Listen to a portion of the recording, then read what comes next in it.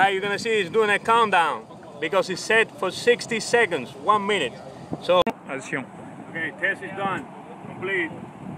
If we look over here, we have a DP measurement, which is dry, what the fuck is it? dry dry density, and WD, which is the wet density. Wet density is what you need. So all of this that we have done up to now with the machine and everything it's just because you need the wet density. In this case, 130.6 WD, 130.6. That's the value that you're gonna record. That's the value that you're gonna record. You're gonna write it down on your piece of paper. Now you move your gauge machine out of the way to a safe place. Safe place. Vamos a rentar la casa. La diferencia, tú la manejas. Yo digo, la renta de la casa, tú lo manejas. Safe. You just got the wet density in the machine, in the gauge machine, which was 132.2. Okay? So you write it down. Okay, now you need the speedy test. The speedy machine. Okay, speedy. This is the most important part of the speedy. It's the dial gauge. That's where how you're gonna get your measurement. You have this. la casa, ya para jugarnos ya. I got the balls. Steel balls. The steel balls. I got two balls. You carry this guy, the speedy, as a baby. And you put the ball slowly inside. The other ball.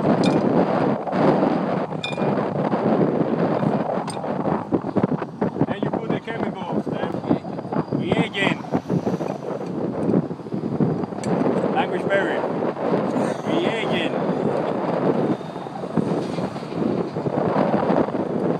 If you're watching this in another state, that's what happens down here in Miami. Language barrier. Alright, you're gonna need two scoops of this, the reagent. Same thing, try to put a slow there. So it doesn't react. And the second scoop of reagent. Okay, and that guy is ready. That's ready. Next thing you wanna do, you wanna get a sample of the earth, the soil that you're testing on.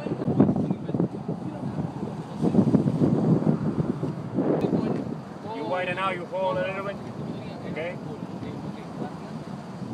Very important. Instead of this, you're using a spoon that looks like the spoon in your house. And instead of this, you're using a, actually a seal cup, okay, seal. You open it, you grab the sample with the spoon. Your sample should not have any uh, piece of soil that is greater than uh, any rock that is greater than one quarter, quarter of an inch. Okay, you try to get sample at least for two tests. Here goes. You want it without losing moisture. The machine. Okay, now we have the weight machine. Um, so we need to have 20 grams. So you put the cap in there first. You zero it. And now you got zero grams. And you're gonna need 20 grams. Not 26.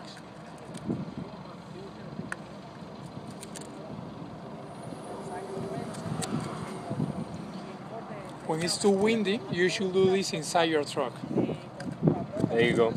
with the trucks uh, turned off so you don't have vibrations that affect your weight. All right, now you grab this guy. Again, like a baby. All right. And you gotta do it this way because if you just throw it in there, it's gonna react before ahead of time. You put it slowly in there. You seal it. Okay. Make sure you tight it really good. That way no reagent will come out. And now perform the speedy test, you just gotta you gotta bounce these balls for a whole minute. Now not bounce it, you have to roll it inside. Alright? So you you gotta look for that sound. There is bouncing. You don't want bouncing. You want rolling. Like that. You hear that? Rolling.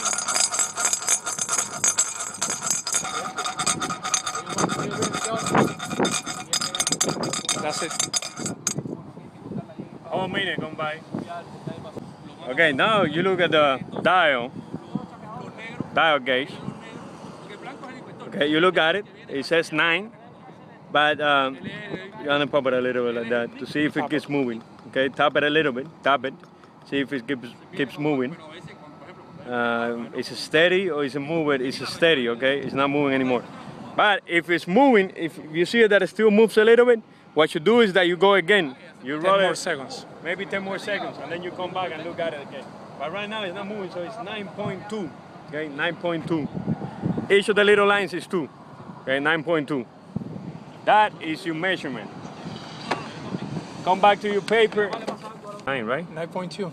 Uh, 9.2. Okay? Now that you have those measurements, you go to the table. Table 1 says for sands and light granular material. The material that we got here is not sand. So you go to table 2. Table 2 for coarse burial materials. You're using this one. Alright, what do you do? You get that number. The number you got from the speedy test, the moisture content, 9.2. You come on the left side of the table, you find 9.2. 9.2.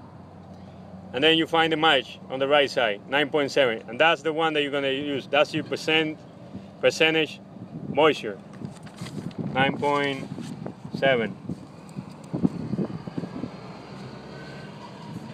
This is the guide.